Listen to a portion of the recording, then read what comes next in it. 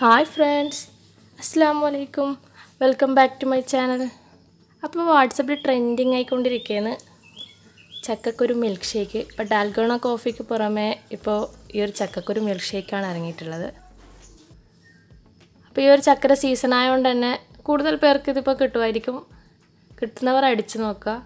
എന്തായാലും ഞാനും വിചാരിച്ചത് ഇത് വല്ല ടേസ്റ്റ് ഒന്നും ഉണ്ടാവില്ല പക്ഷെ നല്ല ടേസ്റ്റാണ് ഒരു ബദാം മിൽക്ക് ഷേക്കിന്റെ അതേ ഒരു ടേസ്റ്റ് തന്നെയാണ് ഇപ്പോൾ ഈ ചക്കക്കുരു ഷേക്കിനും ഉള്ളത്.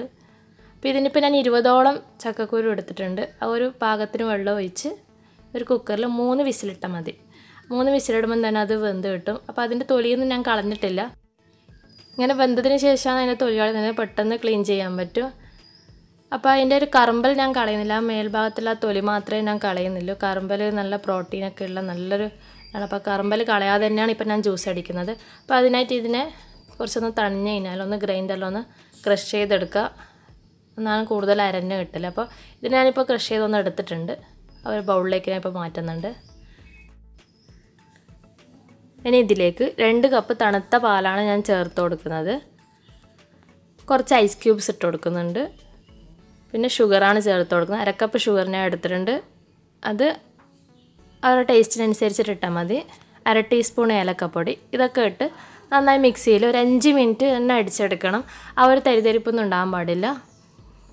നല്ലോണം ജ്യൂസിലടിച്ചാൽ മാത്രമേ ആ ഒരു ടേസ്റ്റ് നമുക്ക് കിട്ടൂ. അപ്പോൾ ചക്കക്കുരുവിന്റെ തരിപ്പൊന്നും ഉണ്ടാകാൻ പാടില്ല. പിന്നെ ഇതിൽ ഇത് നമുക്കൊരു സർവിങ് ഗ്ലാസ്സിലേക്ക് മാറ്റാം. അപ്പോൾ നല്ലൊരു ടേസ്റ്റ് തന്നെയാണിത് ഞാൻ നേരത്തെ പറഞ്ഞ പോലെ ഒരു ബദാം ഷേക്കിന്റെ ഒരു ടേസ്റ്റ് തന്നെയാണ് ഈ ചക്കക്കുരു മിൽക്ക് ഷേക്കിനും ഉള്ളത്. അപ്പോൾ കിട്ടുന്നവരൊക്കെ ഒന്ന് ട്രൈ ചെയ്ത് നോക്കുക അപ്പോൾ ഇതിന്റെ മുകളിലേക്ക് ഞാനിപ്പോൾ കുറച്ചൊരു ഈന്തപ്പഴം മുറിച്ചിട്ട് ഇട്ട് കൊടുക്കുന്നുണ്ട്. അത് കടിക്കാൻ ഇഷ്ടമില്ലാത്തവർക്ക് ആ ജ്യൂസ് അടിക്കുമ്പം തന്നെ ഒന്ന് ഇട്ട് കൊടുത്താൽ മതി.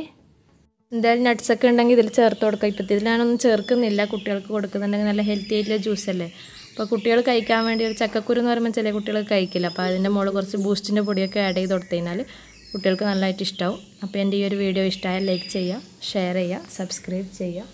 താങ്ക്